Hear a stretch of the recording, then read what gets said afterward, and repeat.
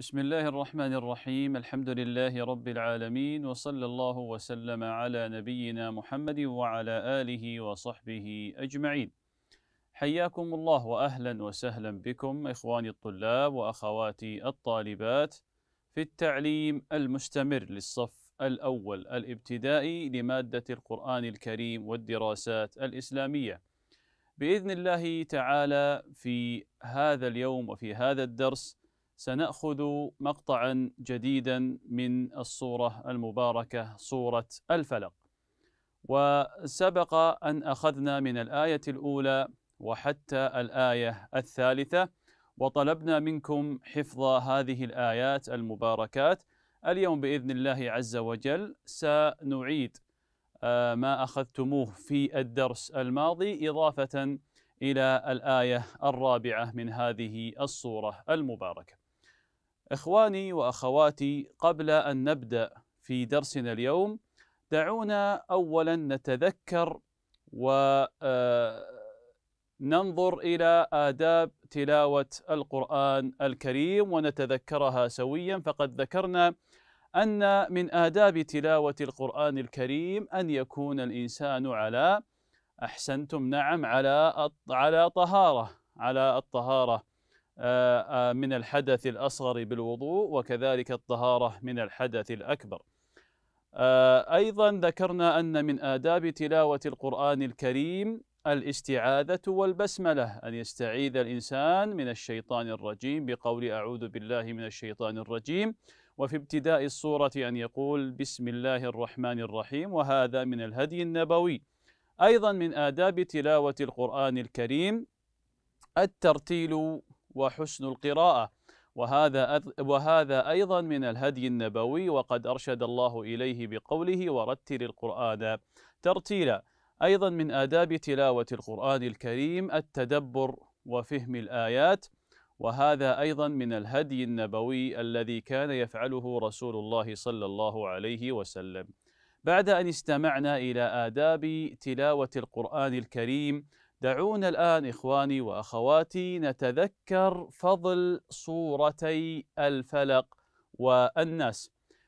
مر معنا في الدرس الماضي هذا الحديث عن عقبة بن عامر رضي الله عنه قال: قال رسول الله صلى الله عليه وسلم: ألم تر آيات أنزلت الليلة لم ير مثلهن قط قل أعوذ برب الفلق وقل أعوذ برب الناس وفي رواية أنزل أو أنزلت علي آيات لم يرى مثلهن قط المعوذتين فهذا الحديث فيه دلالة على فضل هذا على فضل هاتا على فضل هاتين الصورتين صورة الفلق وصورة الناس.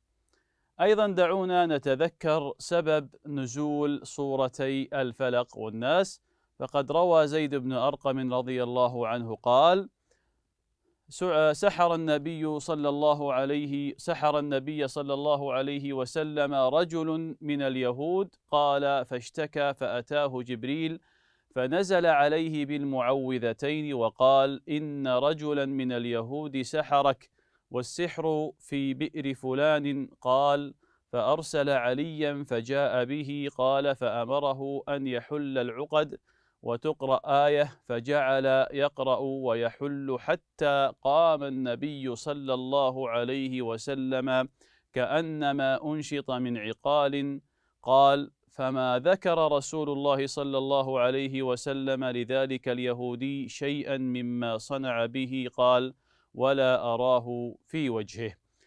إذا هنا نتذكر سويا سبب نزول صورتي الفلق. والناس وأن هاتان الصورتان بإذن الله عز وجل فيها حماية للإنسان من شرور شياطين الإنس وأيضا من شياطين الجن. دعونا الآن ننتقل إخواني وأخواتي إلى آه إلى صورة الفلق. واليوم بإذن الله عز وجل سنأخذ من الآية الأولى وحتى الآية الرابعة. سبق أن أخذنا من الآية الأولى وحتى الآية الثالثة واليوم بإذن الله عز وجل سنضيف آية أخرى وهي الآية الرابعة. فالمطلوب منكم إخواني وأخواتي هو حفظ هذه الصورة من الآية الأولى وحتى الآية الرابعة. كما عودناكم سأقرأ هذه الآيات ثم بعد ذلك نستمع إلى آه، القارئ وهو يقرأ هذه الآيات ثم بعد ذلك بإذن الله عز وجل سنتكلم عن معاني هذه الآيات المباركات. إذا نبدأ مستعينين بالله تبارك وتعالى. أعوذ بالله من الشيطان الرجيم. بسم الله الرحمن الرحيم.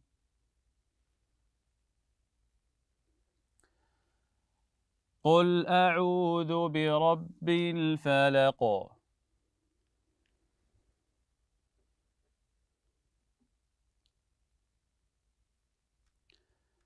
قل أعوذ برب الفلق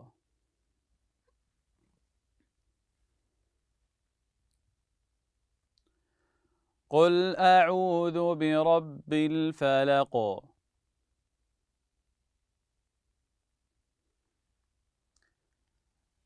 من شر ما خلق.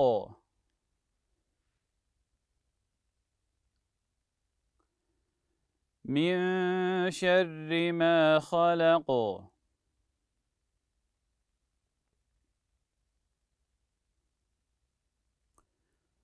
من شر ما خلق.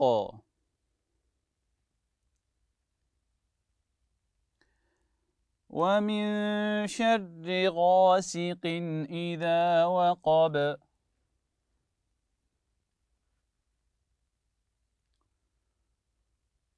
ومن شر غاسق إذا وقب.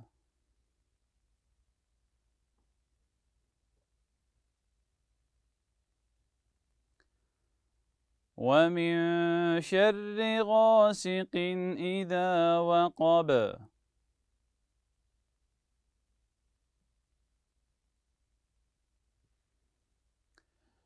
ومن شر النفاثات في العقد.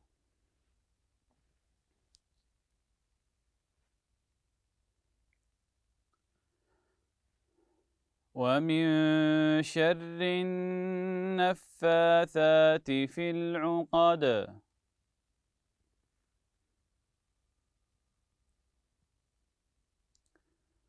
ومن شر النفاثات في العقد. ومن شر النفاثات في العقد. بارك الله فيكم إخواني وأخواتي. إذا استمعنا الآن إلى درسنا اليوم وهو هو من الآية الأولى وحتى الآية الرابعة. الآن سننتقل إلى القارئ. كما عودتموني دائما بحسن الاستماع والإنصات وكذلك أيضا بالتكرار والترداد مع القارئ حتى بإذن الله عز وجل يسهل عليكم حفظ هذه الصورة المباركة. إذا نبدأ مستعينين بالله عز وجل. بسم الله الرحمن الرحيم. قل أعوذ برب الفلق. قل أعوذ برب الفلق. قل أعوذ برب الفلق قل أعوذ برب الفلق من شر ما خلق من شر ما خلق من شر ما خلق من شر ما خلق ومن شر غاسق إذا وقب ومن شر غاسق إذا وقب. ومن شر غاسق إذا وقب. ومن شر غاسق إذا وقب. ومن شر النفاثات في العقد. ومن شر النفاثات في العقد. ومن شر النفاثات في العقد ومن شر النفاثات في العقد. قل أعوذ برب الفلق قل أعوذ برب الفلق قل أعوذ برب الفلق قل أعوذ برب الفلق. من شر ما خلق من شر ما خلق من شر ما خلق من شر ما خلق. ومن شر غاسق إذا وقب ومن شر غاسق إذا وقب. ومن شر غاسق إذا وقب. ومن شر غاسق إذا وقب. ومن شر النفاثات في العقد. ومن شر النفاثات في العقد. ومن شر النفاثات في العقد. ومن شر النفاثات في العقد قل أعوذ برب الفلق قل أعوذ برب الفلق قل أعوذ برب الفلق قل أعوذ برب الفلق من شر ما خلق من شر ما خلق من شر ما خلق من شر ما خلق. ومن شر غاسق إذا وقب. ومن شر غاسق إذا وقب. ومن شر غاسق إذا وقب. ومن شر غاسق إذا وقب. ومن شر النفاثات في العقد ومن شر النفاثات في العقد ومن شر النفاثات في العقد ومن شر النفاثات في العقد. قل أعوذ برب الفلق. قل أعوذ برب الفلق. قل أعوذ برب الفلق. قل أعوذ برب الفلق. من شر ما خلق. من شر ما خلق. من شر ما خلق. من شر ما خلق.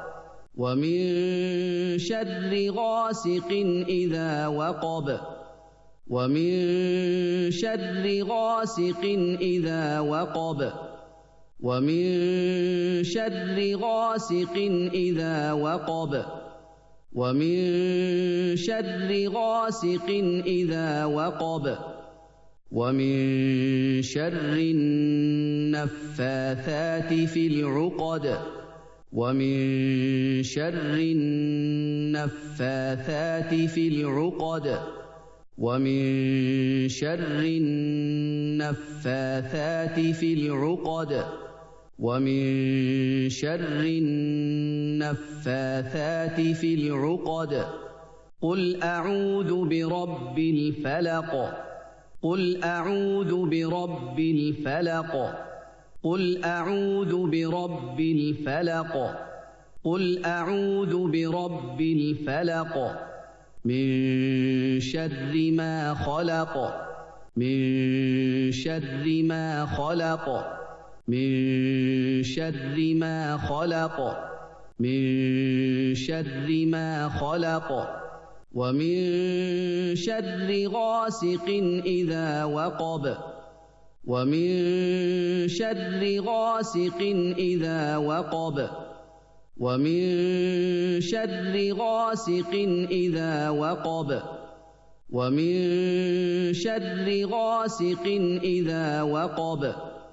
ومن شر النفاثات في العقد.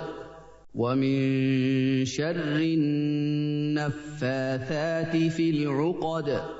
ومن شر النفاثات في العقد. الله فيكم إخواني وأخواتي وأشكر لكم حسن الاستماع والإنصات. الآن سنرجع إلى الآيات المباركات وسننتقل إلى معاني الكلمات المتعلقة بهذه الآيات. قول الله عز وجل قل أعوذ برب الفلق. سبق أن قلنا أن معنى هذه الآية المباركة أي أعوذ وأعتصم برب الفلق والمقصود بالفلق هو ماذا؟ أحسنتم نعم هو الصبح. أي قل أعوذ وأعتصم برب الفلق والفلق هو الصبح. من شر ما خلق أي من شر جميع المخلوقات وأذاها. أي أعوذ وأعتصم بك يا الله. يا رب الصبح من شر جميع المخلوقات وأذاها ومن شر غاسق إذا وقب. معنى هذه الآية أو معنى الغاسق هو الليل شديد الظلمة. الليل شديد الظلمة. ومعنى وقب أي دخل ظلامه في كل شيء. معنى وقب أي دخل ظلامه في كل شيء. ثم قال الله عز وجل ومن شر النفاثات في العقد أي أعوذ بك يا الله أيضا من شر الساحرات اللاتي ينفخن فيما يعقدن من عقد بقصد السحر. فهذه الآية المباركة اشتملت على الاستعاذة من أمور ذكرها الله سبحانه وتعالى. أول هذه الأمور هو من شر جميع المخلوقات وأذاها. ثانيا أيضا من شر الليل ومن ظلمة الليل وما قد يكون فيه من الشر من أذى شياطين الإنس أو الجن أو الدواب. ثم أيضا آه، الثالثة الاستعاذة من شر الساحرات اللاتي ينفثن في عقد السحر بقصد إضرار الناس. إذا إخواني أخواتي هذه معاني الآيات التي استمعنا إليها قبل قليل. المطلوب منكم إخواني وأخواتي هو حفظ هذه الآيات المباركات من الآية الأولى وحتى الآية الرابعة. بإذن الله تعالى في الدرس القادم ألتقيكم بإذن الله على خير وأنتم قد حفظتم هذه الآيات المباركات ونستودعكم الله الذي لا تضيع ودائعه والسلام عليكم ورحمة الله وبركاته.